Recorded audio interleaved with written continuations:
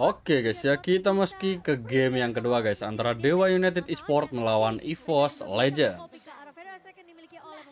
Kita lihat saja guys ya, apakah dari trio WCG akan berakhir manis? Iya sih, harusnya iya sih guys ya. Abis kemarin juara dunia guys, masa agak berakhir manis kan ya agak eman juga ya guys ya.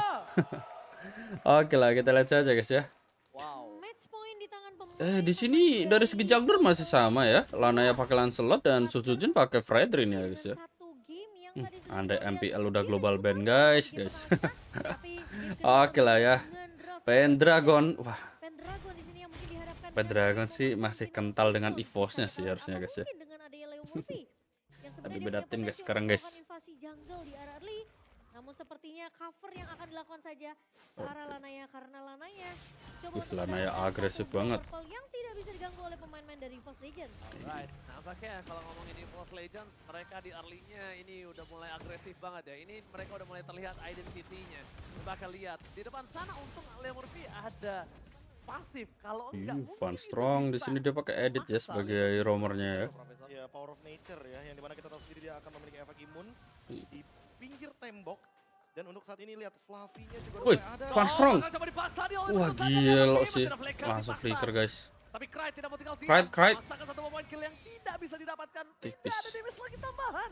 Tipis, Sama-sama guys. mengeluarkan flicker yang diberikan. EVOS Legends kali ini juga sama-sama di arah roamer loh. Ya. Iya. Sama-sama flicker, sama-sama di arah roamer. Jadi nggak Wah, terlalu... Awat sama Brans ya. Brans masih pakai Beatrix guys ya. Dan Awat Lebih memperhatikan bagaimana early damage-nya. Oke lah karya yang sebelumnya Awat itu dia pakai Brody guys. Mendapatkan level lebih tinggi apalagi dengan menggunakan pasifnya. Iya. Namun, jangan lupakan juga bahwa efek Terrify ini masih belum terlihat di depan. Plus Dewa mereka bawa dua Rapture deh. Yang Iya. di mana itu akan memberikan sedikit uh, damage penetration ya. Aha. Tentunya untuk pemain-pemain dari Dewa. Jadi harusnya early pressure ini Dewa bisa jalan. Grok. Murphy. Lebih galak. Lebih galak harusnya permainannya. Tapi kita tahu Grok yang sekarang udah gak punya magical defense ya. Agak sedikit sulit mungkin ketika berhadapan dengan crit. Alright. Tapi dibalik itu semua... Hmm, Pedragon eh lah, dari Pedragon. Eh, Fire Strike lah. Waduh, Fluffy juga Diberikan tumbang oleh sih. Cry. Iya, guys, kelas banget sih. Cry harus tumbang di Leo Murphy. Wild Charge. Wah. Cucin. Position. Eh, pedang keadilan. Damage-nya terlalu sakit dan. Lanaya juga belum cukup itemnya untuk bisa numbangin dua badak di depannya. Wah, untungnya kita tidak melihat bagaimana kejadian Super Ken ya pada saat Iya. bertemu dengan teman-teman dari RRQ.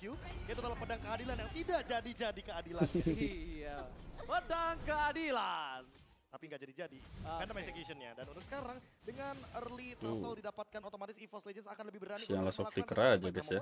Kalau Boh. kita melihat tadi Hmm. bagaimana pressure di early game. Mirko doang guys yang pilih ke Dewa guys. Mendapatkan satu turtle, tapi mereka Tapi karena di sini Kalau pakai Fredrin Ace lagi, Jabran pakai poin. Beatrix lagi guys ya. Iya, gue ke arah EVOS sih untuk kali ini ya.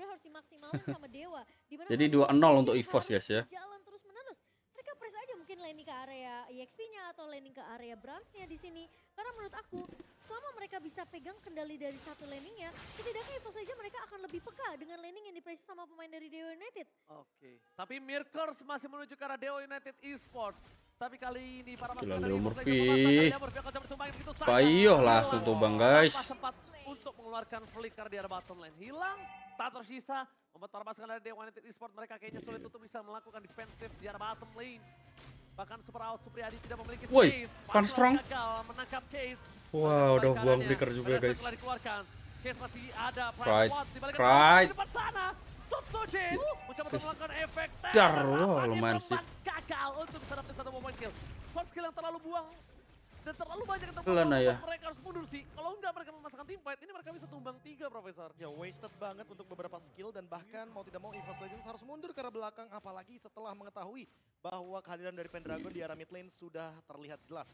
Untuk sekarang by item aja kita akan melihat bagaimana uh kedua mid laner kita akan membuat terlebih dahulu Clock of Destiny sehingga Case dan COD udah akan diamankan oleh case-nya ya. Menuju ke arah late game mungkin menit ke-12 sampai dengan 16 baru kita Counter Strike udah diamankan Lana ya. Dari kedua mid laner ini. Ya, tapi kalau KB tadi sempat notice juga Fluffy yang udah mulai nge-cutting juga nih eh, minion laning EXP-nya yang ngebuat Pendragon juga harus melakukan yang hal yang sama. Dia sempat melakukan rotasi Turtle kedua, guys. Melakukan clear cepat, tapi Fluffy pun tidak bisa ditinggal Kelihatannya harusnya aman sih buat EVOS ya. bisa ngasih space terlalu banyak ke arah seorang Fluffy-nya. Oke, event kembali terjadi. Waduh, Leo banyak. bocor banget. Ya, Lanaya. Jabran, Jabran. Kratnya kill tuh, Bang.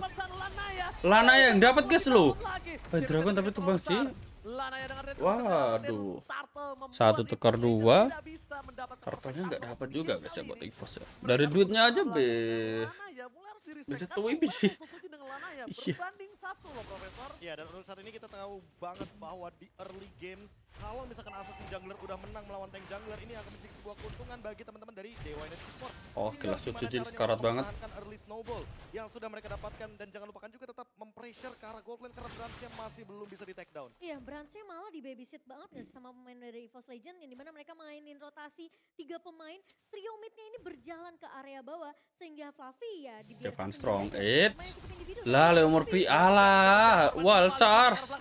Tadi flicker dulu, guys, ya, baru wall charge, guys. Oke lah.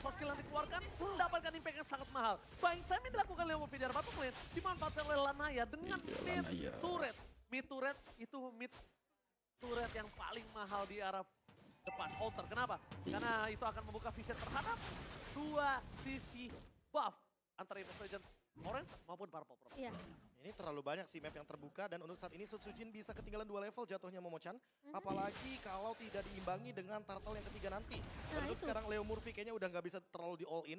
Harus ganti target. Watt juga nggak bisa ditangkap karena dia punya Purify. Case mungkin bisa jadi solusinya. Dan Tapi- itu juga sama kondisinya. Karena apa? Karena EVOS Legends perlu ditangkap Krite-nya. Dua kali ditumbangkan Gila, belum Naya. bisa bener-bener poin yang plus bagi teman-teman dari Dewa. atau mungkin kalau mereka nggak bisa all in untuk nangkap ke arah Krait, paksa aja biar semua resource yang dimiliki sama Krait ini kepake.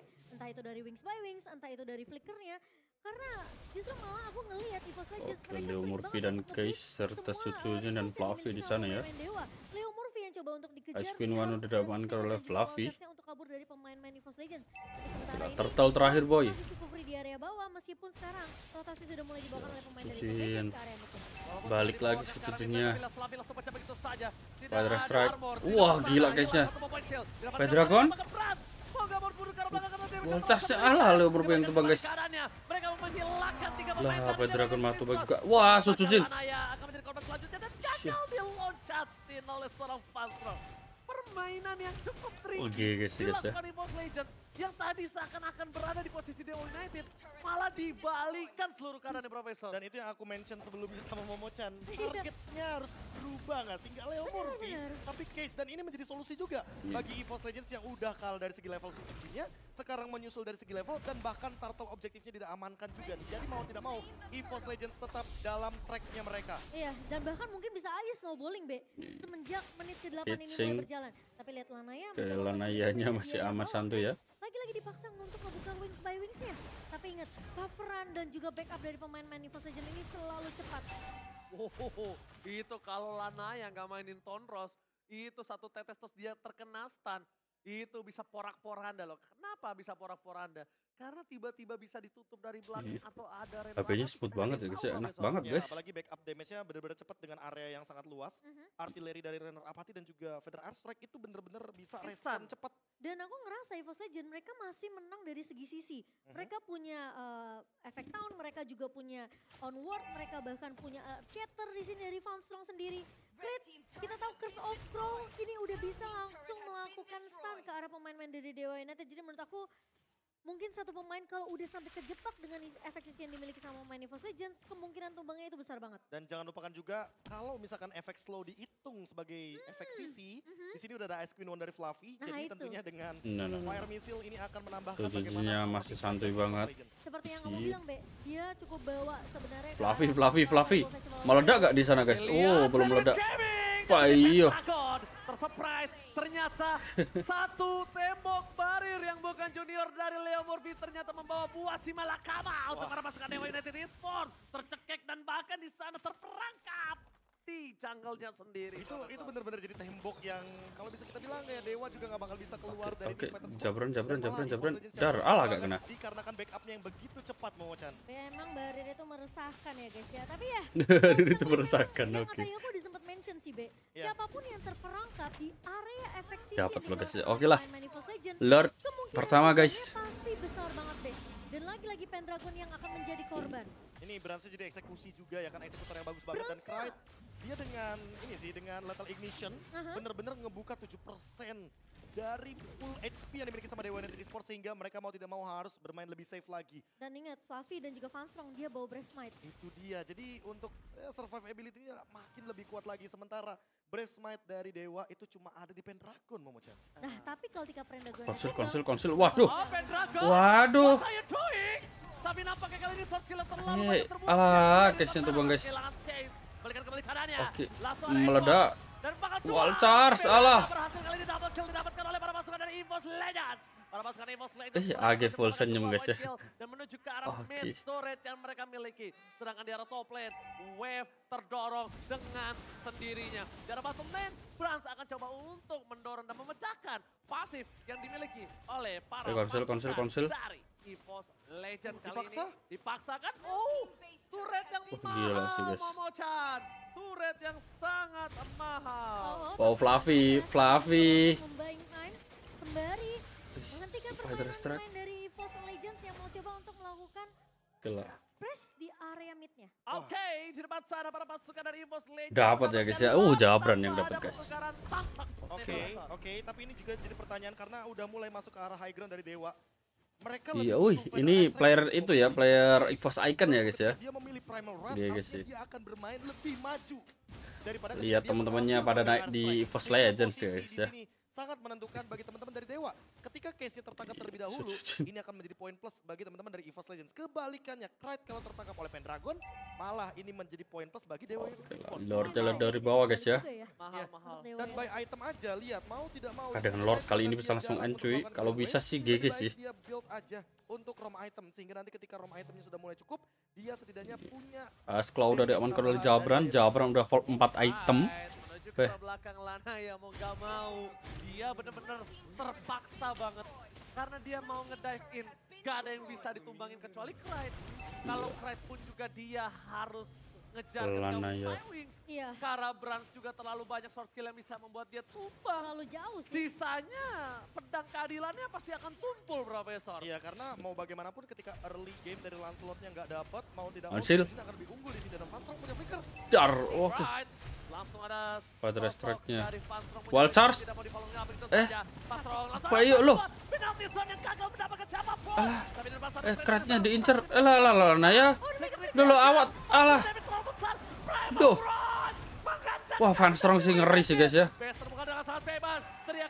Oke. bertahan? Waduh, Fluffy. Iya, best ya, best ya, best, best, best. Oke, membuktikan wah, Jabran ngeri sih. GG, guys.